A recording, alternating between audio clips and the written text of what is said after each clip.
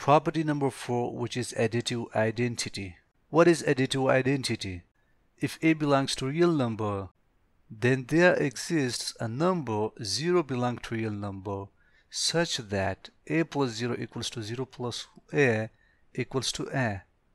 It also belongs to real number. So 0 is called the additive identity. According to the additive identity property, if a belongs to real number, there exists a number there will be a number which is 0 such that a plus 0 equals to 0 plus a equals to a. Because a plus 0 is a and 0 plus a is also a, therefore a plus 0 equals to 0 plus a equals to a. What is a? a belongs to real number. Belongs to real number. So this 0 is called the additive identity. It doesn't affect the number a when you add to it. So this is my additive identity. For example, if a equals to 6 under root, it is irrational number.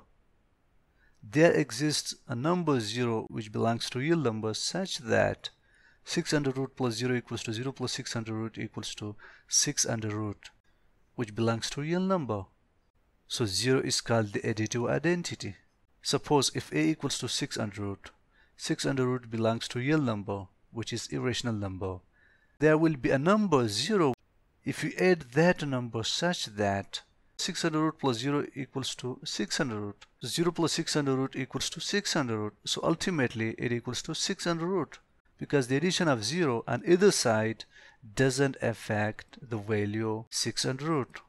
What is 600 root? 600 root belongs to real numbers which is irrational number. Therefore this 0 is called the additive identity not 600 root. 0 0 is the additive identity